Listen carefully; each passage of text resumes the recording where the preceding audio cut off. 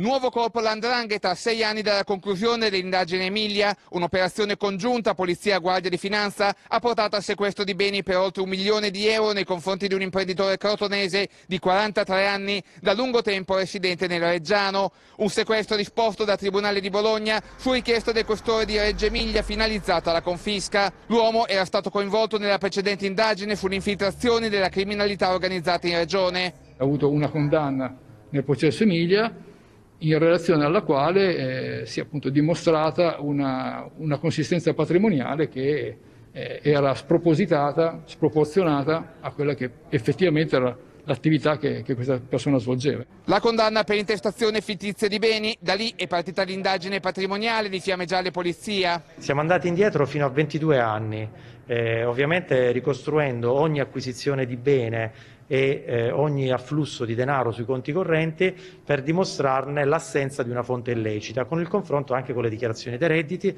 e con le dichiarazioni delle imprese. Sequestrati nove immobili nel Reggiano, terreni, imprese edili, conti correnti autovetture, beni intestati al 43enne ma che sarebbero riconducibili all'andrangheta, che avrebbe così continuato a fare floridi affari anche dopo la conclusione di Emilia. Questo sequestro lo dimostra eh, ma dimostra anche che c'è una capacità di risposta da parte delle forze di polizia che permette di raggiungere questi risultati.